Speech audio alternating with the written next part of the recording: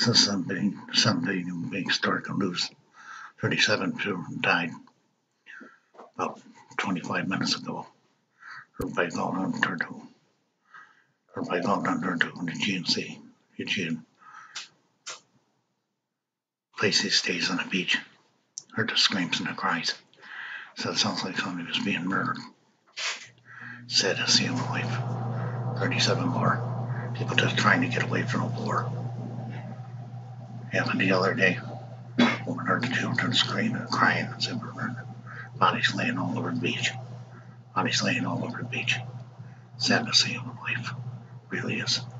This is why they need to stop the Syrian war. They need to stop the Syrian war. Period. Stop the Syrian war. Stop bombing innocent innocents. Stop killing people. Need to stop the Syrian war.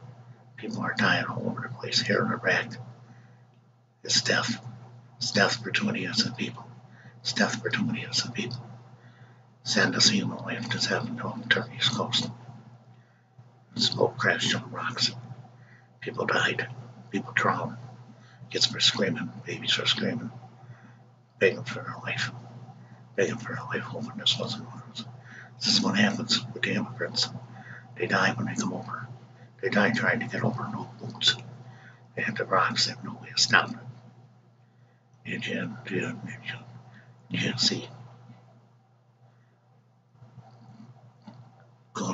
Come to Donor, turned around, saw it.